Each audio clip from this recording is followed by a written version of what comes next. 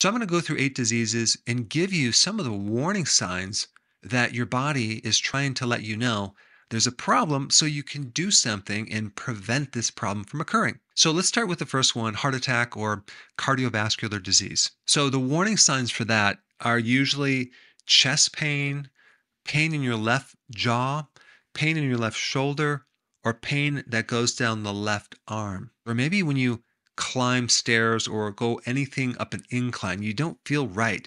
Something feels off, whether it's you feel out of breath, dizzy. This could be the beginning of a heart attack. And one really good test to get is called the CAC test. This is a relatively quick test that can measure the calcification inside your arteries, which is a really good predictor of whether you're going to have a heart attack or not.